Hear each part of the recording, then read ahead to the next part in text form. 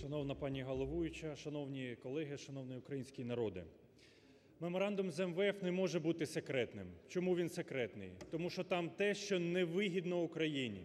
Український план має бути прозорим, обговореним суспільством і підтриманим парламентом. Саме такий план розвитку країни пропонує фракція Радикальної партії. Антикризовий план розвитку економіки. Перша його складова – це інституційні радикальні реформи, це повне перезавантаження суддівського корпусу і прокуратури, повна заміна суддів і прокурорів. З цього почнеться відродження законності в країні. Ця друга складова цього – це скорочення чисельності, підвищення відповідальності і заробітної платні державних службовців, щоб вони працювали в інтересах України, не мали подвійного громадянства і дбали про свою рідну країну. Фінансова стабілізація.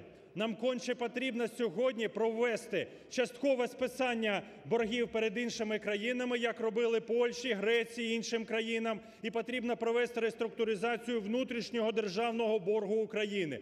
Це дасть можливість вивільнити десятки мільярдів гривень в державному бюджеті, які можуть піти на підвищення соціальних стандартів, зарплат, пенсій, на розвиток української промисловості. Для фінансової стабілізації потрібні не кредити МВФ, не подачки від Європейського Союзу, а жорстке взяття під контроль українського кордону, подолання контрабанди на митниці, жорстке трансфертне ціноутворення. Все те, що влада не робить, консервуючи корупційні схеми, а там десятки мільярдів гривень, які можуть бути використані в інтересах українського суспільства без підвищення тарифів і без підвищення податків.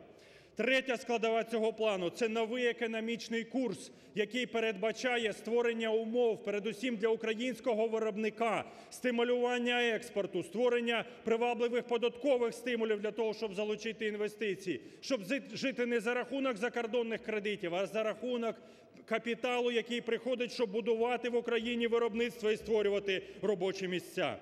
Метою влади має бути не поглиблення співпраці з Міжнародним валютним фондом, а припинення цієї співпраці, повернення боргів України і відновлення в Україні суверенної демократії. Надзвичайно важливо прискорити економічне зростання з 1-2 відсотків, які ми маємо сьогодні, це ніщо, до хоча б 7, 8, 9 відсотків. Це дозволить суттєво підвищити соціальні стандарти в Україні. Масштабна енергомодернізація замість цих корупційних субсидій збільшення власного видобутку газу і перетворення України на енергонезалежну країну.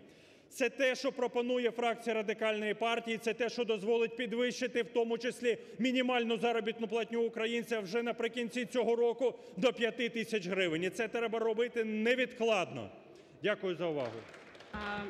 Народний депутат Єднак передає